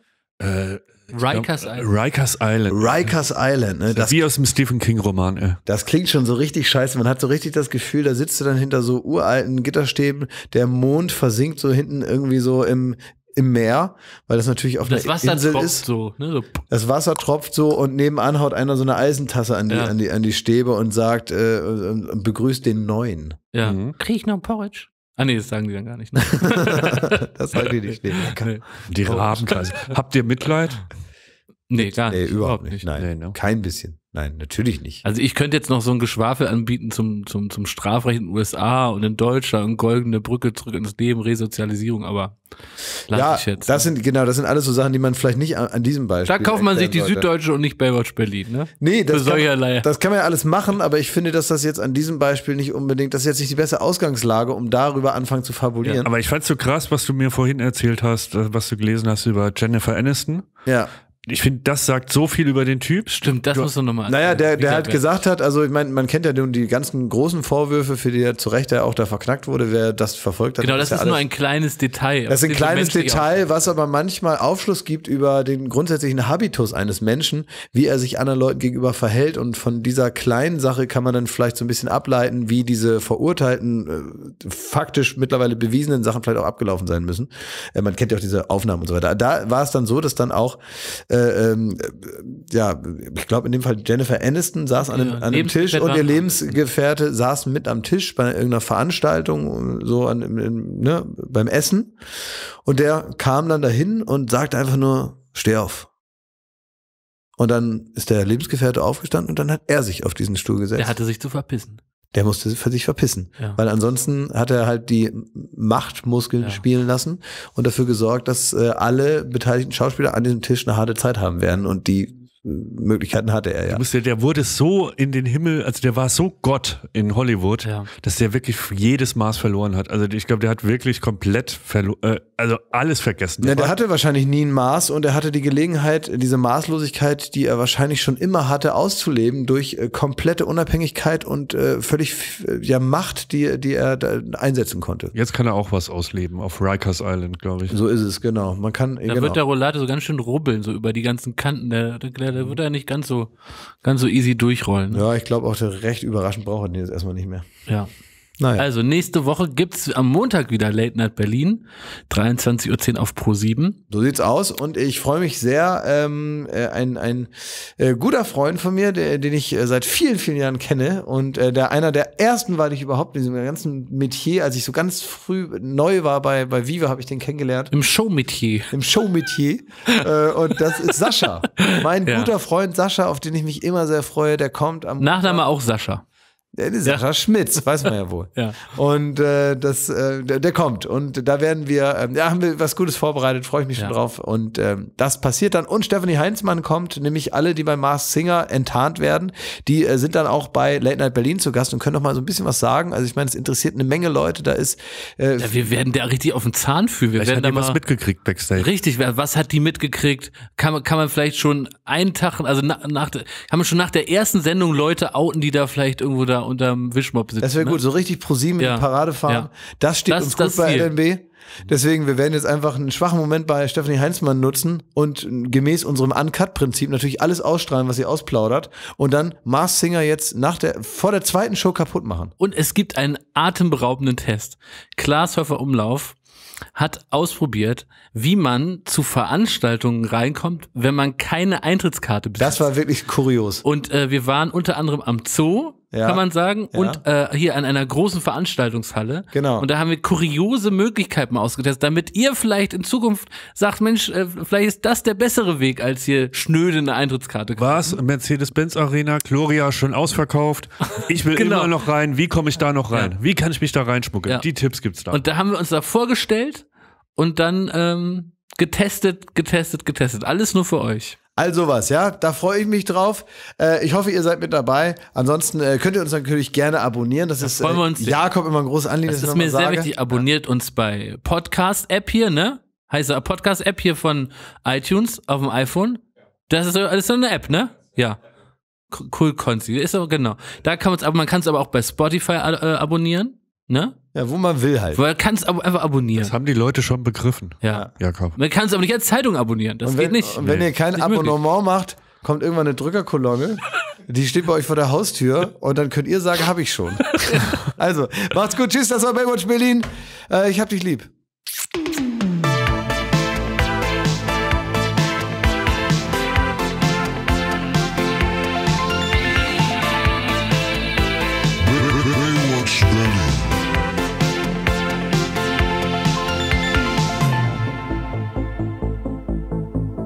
Baywatch Berlin ist eine Studio Bummens Produktion in Zusammenarbeit mit Late Night Berlin und freundlicher Unterstützung der Florida Entertainment. Neue Folgen gibt es jeden Freitag, überall wo es Podcasts gibt.